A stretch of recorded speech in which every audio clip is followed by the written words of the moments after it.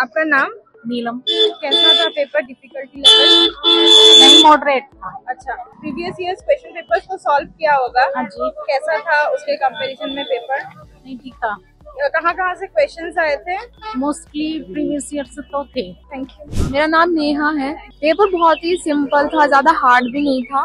हाँ first paper भी मतलब इजी था बहुत कम मतलब क्वेश्चन ऐसे थे जो हार्ड थे और सेकंड भी बहुत इजी था बहुत अच्छा गया पेपर क्वेश्चन ज़्यादातर मतलब वही पीछे से जो पीछे प्रीवियस ईयर क्वेश्चन पेपर्स थे ना उन्हीं से पूछे गए थे और मतलब बस उनको बदल कर लिख दिया गया था और बहुत अच्छे क्वेश्चन आपका नाम? कल्पना। कैसा था paper difficulty level wise difficulty level wise तो अच्छा था। मतलब काफ़ी अच्छा था एग्ज़ाम तो। आप थोड़ा इलाबोरेटली बोलोगे कि कहाँ कहाँ से क्वेश्चंस आए थे? क्या हुआ था? क्वेश्चंस मुझे याद नहीं है अभी इस टाइम लेकिन काफ़ी टफ था एग्ज़ाम इवन पेपर वन भी काफ़ी टफ था। वन में क्वेश्चन कहाँ कहाँ से आए थे? आपके मैथ परसेंटाइल से थे। परसेंटेजेस से थे और मतलब रीजनिंग को छोड़कर आपका काफ़ी लेवल अच्छा था हर चीज़। रीजनिंग में क्वेश्चन कहाँ कहाँ से रीजनिंग में इजी थे सीरीज़ से थे नंबर कोडिंग डिकोडिंग से थे। Myself Minhas Shishti. So how was the paper Our paper was good. Question कहाँ कहाँ से आए थे? क्वेश्चंस जो हमारे सिलेबस से था उसके अकॉर्डिंग ही आए थे। ज़्यादा हार्ड नहीं था बट फिर भी कहीं ना कहीं एट अ लास्ट लगता ही है कि थोड़ा सा और टाइम मिल जाता है थोड़ा सा और पढ़ लेते तो हम उसको और अच्छी तरह से कर पाते हैं। प्रीवियस ईयर के कंपैरिजन में आप कैसे रेट करना चाहते हो इस साल का पेपर उससे ज़्यादा इजी था ये है for the second second Okay, so the paper was easy compared to last year. So can you just tell us the topics from where questions were asked in English? मेरा जो topic था वो मैं department of Persian से है जो first unit था वो थोड़ा सा डिफ़िकल्ट था बट सेकेंड यूनिट में मैंने बहुत अच्छे से अटेम्प्ट करा और इट वॉज़ सो मच मज़ा भी आया एंजॉय भी करा बट ये होता है ना कि पता नहीं कंपटीशन का टाइम है होगा कि नहीं हो पाएगा इसके लिए थोड़ा सा मुश्किल होता है। आपका नाम? मैम नीतू शर्मा। कैसा था पेपर बहुत अच्छा था मैम इजी आया ओके लास्ट ईयर के कंपैरिजन में कैसा यस मैम लास्ट ईयर के कंपैरिजन इजी था। कहाँ कहाँ से क्वेश्चंस आए थे इंग्लिश सभी टॉपिक्स में से आए थे मैम जनरल पेपर वन में से इंग्लिश वगैरह पेपर टू ठीक था मॉडरेट था। Madhuri So how was the difficulty level of the paper? Paper two is moderate but paper one is little bit tough Okay, so questions from where it was asked. Paper one में research में कम था पर math से बहुत ज़्यादा question थे ICT वगैरह से Okay, so reasoning में question कहाँ कहाँ से आए थे? रीजनिंग में बहुत से कम ही क्वेश्चन थे रीजनिंग में एसएसएल रीजनिंग ज़्यादा था इंडियन लॉजिक थे उसमें इतना ही रीजनिंग से बहुत ज़्यादा क्वेश्चन नहीं लग रहा था। पीपल डेवलपमेंट एनवायरनमेंट वगैरह था आईसीटी था मैथ से बहुत क्वेश्चन Okay. आपका गुड नेम क्या है? जी रुचि यादव। कैसा गया एग्ज़ाम एग्ज़ाम मेरा ठीक गया।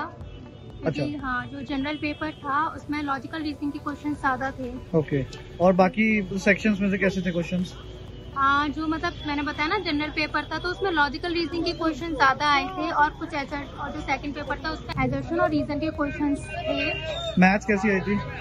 मैथ मैथ का लेवल ठीक था मतलब मॉडरेट था टफ नहीं था। ओके हाँ। पेपर टू कैसे आया था? पेपर टू ठीक रहा तो कौन सी लिटरेचर से ज़्यादा क्वेश्चन आए थे?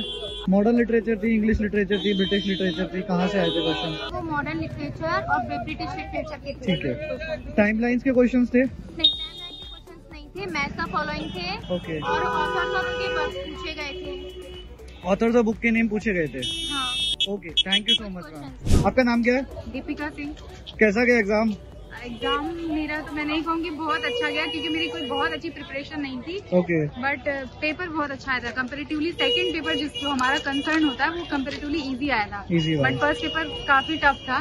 एक बार बताएँगे फ़र्स्ट पेपर में कहाँ कहाँ से आए थे क्वेश्चंस फ़र्स्ट पेपर में एक जो परसेंटेज वगैरह निकालना होता है हाँ। टेबल आती है। पाँच वहाँ से आए थे फिर आईसीटी के जो क्वेश्चन थे वो काफ़ी इजी थे। मतलब अच्छा डीआई कैसा आया था? डीआई बहुत टफ आया था वही मैं आया था। बहुत टफ आया था। ठीक है। और पेपर टू एक बार बताएँगे? पेपर टू तो बहुत अच्छा मतलब कंपेरेटिवली इजी आया था जैसा हमेशा आता रहा है ठीक है। तो उस हिसाब से बहुत अच्छा आया था। बट टाइम मैनेजमेंट की थोड़ी सी प्रॉब्लम हाँ। हो गई। तो मतलब पेपर लेंदी था? पेपर लेंदी था ठीक है। लिटरेचर कहाँ से आई थी? ब्रिटिश लिटरेचर थी अमेरिकन थी? लिटरेचर तो पीरियोडिकल से तीन चार क्वेश्चन आए थे। Okay. क्रोनोलॉजी क्रोनोलॉजी सेट करने के लिए लगभग टेन क्वेश्चन थे। अच्छा। और लास्ट मतलब कि जब पेपर एंड होने लगा तो जो जितने भी क्वेश्चन थे बहुत ही अच्छे थे। शेक्सपियर से लेके रोमांटिक एज तक के बहुत सारे क्वेश्चंस आए थे। चार्ल्स डिकेंस के तो तीन क्वेश्चन थे एक तो उनके पीरियोडिकल पे था दूसरा उनका उनके वर्क्स की क्रोनोलॉजी थी। तो ऐसे कैरेक्टर से था। अच्छा। अच्छा बुक्स और टाइमलाइंस के ऊपर कोई क्वेश्चन हाँ आए थे। अच्छा ठीक है। कोई टेक्निकल एरर रहा हो एग्ज़ाम के अंदर? ठीक है। Thank you so much what's your good name Shilpa. Overall exam कैसा था ma'am it was okay neutral okay paper one कैसा आया था? पेपर वन इजी था कहाँ कहाँ से मेजरली क्वेश्चन थे रीजनिंग मैथ्स में? रीजनिंग ज़्यादा इतनी थी नहीं रीजनिंग के मुश्किल से दो क्वेश्चन से ओके मैथ में दिया था। ओके और मैथ्स में भी अगर हम मैथमेटिकल रीजनिंग भी देखें तो उसमें भी इतना ज़्यादा कुछ था नहीं। क्वेश्चन मेन जैसे थे ट्रेन वाला क्वेश्चन था। राइट और बाकी कल्चर उससे था। ठीक है। Paper two paper two main focus मैंने देखा कल्चरल स्टडीज़ पे ज़्यादा था। ओके एंड लिंग्विस्टिक पे उस पे रिसर्च के एक दो क्वेश्चन से ज़्यादा नहीं थे ठीक है। लिटरेचर मेजरली कहाँ से आई थी? कवर थी पूरी डिक्सन जैसे एमिली ब्रॉन्टी के बहुत क्वेश्चन पूछे गए थे स्पेशली वुदरिंग हाइट्स के दो तीन क्वेश्चन के देखे गए थे। और थोड़ा चार डिकेंस के जैसे एक दो इजी भी बहुत थे जैसे लास्ट ईयर के ही थे कि उनका टेल ऑफ़ टू सिटीज़ कौन सी और कौन सी सिटीज़ मेंशनड है। सो मेन वो थे। मतलब So- सारे राइटर्स कवर थे। एंड क्रोनोलॉजी बहुत ज़्यादा क्वेश्चन पूछे गए थे। ओके टाइमलाइन क्वेश्चंस थे? टाइमलाइन क्वेश्चन थे। एक अच्छा। तीन चार लिटरेचर मिक्स इंडियन लिटरेचर ले लो सारी लिटरेचर मिक्स करके क्रोनोलॉजी पूछी थी कि कौन. क्रोनोलॉजिकल ऑर्डर पूछे ओके और बुक्स और ऑथर्स के बारे में? पूछा था। पूछा था।